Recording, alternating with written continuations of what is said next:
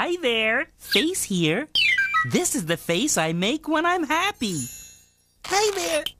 This is the face I make when I'm really, really happy. Yippee!